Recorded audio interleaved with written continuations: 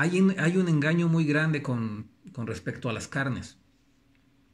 Porque nos han dicho que las carnes rojas y las carnes blancas. ¿Sí? Como si hubiera carnes de diferente calidad. Y yo tengo una reflexión. Las carnes rojas nos, han dicho que son las malas, ¿sí? O que son las más perjudiciales. Hubo un tiempo que hasta con el clembuterol, para el, caso de la red, de las vacas, clembuterol es una hormona que le ponen a las vacas para que crezcan más rápido. Pero también a la vaca le dan muchas hormonas, le dan mucho alimento para que produzcan más, más leche. Entonces, y hay hormonas en ambas partes. En el cerdo no, no, no, es, sabido de tantas hormonas que le pongan a un cerdo. Pero por tradición judía, ¿sí? El cerdo no, no lo consumen, muchos. Dentro de la tradición judía es que no comen cerdo porque no levanta, porque es un animal que no puede voltear a ver a Dios, ¿no?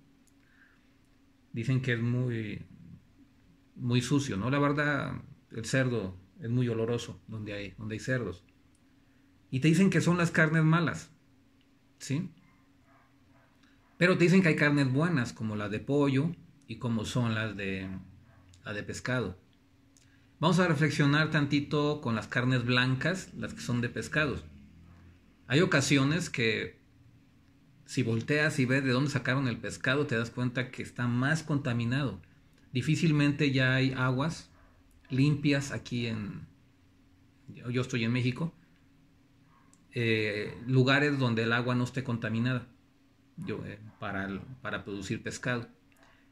Y los mismos pescados los podemos encontrar con algunos parásitos entre la carne.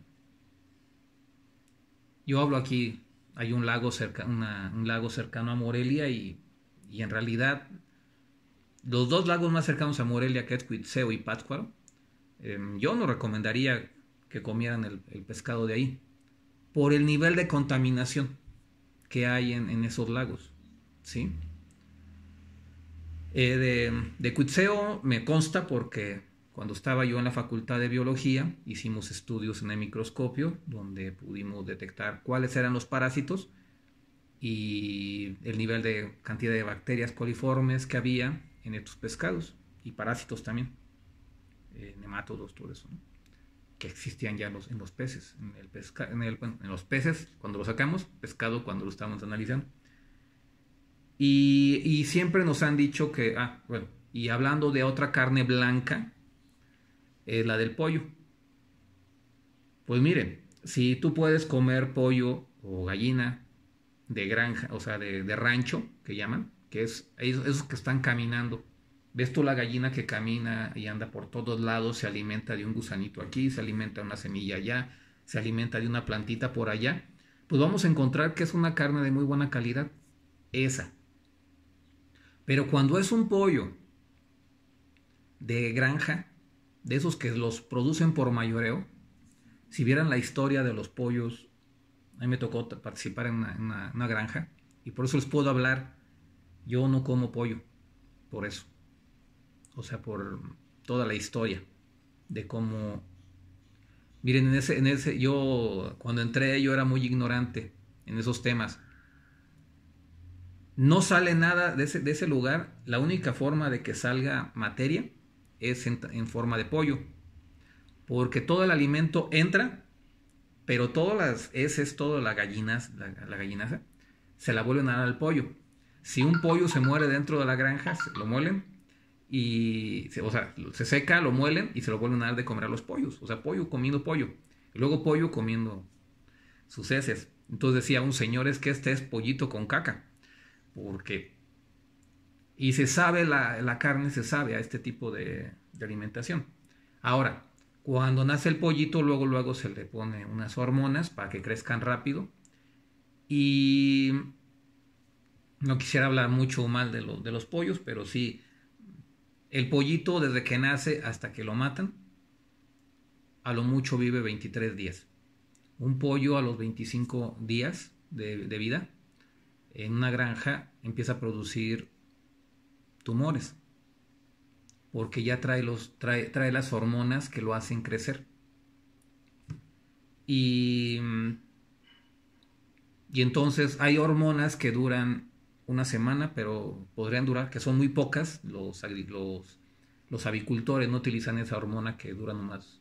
Hay, unos que, hay unas que duran tres semanas. Entonces, si un pollo se muere, digo, si un pollo se lleva al plato y, y lleva, apenas lleva 15 días la hormona, queda la hormona queda activa durante otra semana más. Después de que, o sea, tú te la comes, estás comiendo la hormona que sigue siendo activa. Por eso de repente el, el consumir los pollos generan tumores dentro del cuerpo que la mayoría de las veces nuestro sistema inmunológico los, los atrapa y los mata, o sea, mata, mata esas malformaciones, constantemente nuestro sistema inmunológico los está rechazando. Pero ¿qué pasa cuando tu sistema inmunológico se baja? Entonces empiezas a tener problemas, porque entonces empieza a producir. Eso va a pasar igual con las vacas. La vaca le hacen que produzca leche por medio de hormonas. Y las hormonas duran 30 días. Si le pusiste a la vaca si le pusiste a la vaca la hormona y a la semana ordeñan a la vaca, en la, en la, leche va a ir la hormona, que va a durar tres semanas. Entonces lo consumen, sobre todo las mujeres. Imagínense, cuando ha habido cáncer de cáncer de seno en hombres, ¿cómo podría haber cáncer de seno? Bueno, son gente que toma leche, que esa hormona entra al cuerpo y hace que produzca leche. Pero cuando la mujer no está, no ha sido fecundada o no ha sido, no está lactando y empieza y esas hormonas lo que hace de que se empiezan a producir los tumorcitos en los senos por consumir la leche, ¿sí? Entonces por eso no les recomiendo tomar leche y no recomiendo yo el consumo de veamos de dónde viene, o sea, no te voy a decir que no comas pollo, ve de dónde viene el pollo que te estás comiendo. Si es una granja, pregúntales, oiga, ¿y cuánto tiempo vive un pollito aquí? Y te van a decir, una gallina en, de granja, en, un ranchito, seis meses. Y ya, y ya, y apenas está madurando su, la gallina para poder tener huevos. Después de seis meses, ¿sí? Su vida, entonces, y ya está madura, su cuerpo ya está. Y estos pollitos al, al año, al mes, antes del mes ya lo mataron porque no pueden vivir más. Además que son los pollitos, están todo el, todo el tiempo está mm, la luz prendida y nomás tienen que estar tomando agua y, comida, agua y comida, agua y comida y comida. No pueden hacer más los pollos, más que estar comiendo, comiendo, comiendo y no los dejan dormir durante esos 21 días. Entonces el nivel de estrés de estos pollos es altísimo.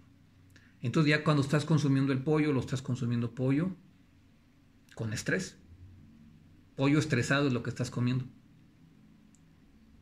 Y entonces ya lo que se vuelve a veces más, la carne más limpia para consumir es la de cerdo o la de vaca.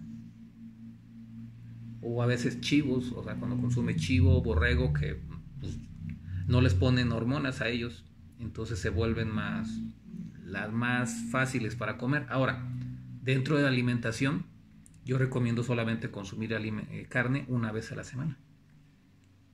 Una vez cada 15 días. El consumo de carne. Porque en las vegetales tienes más energía del sol.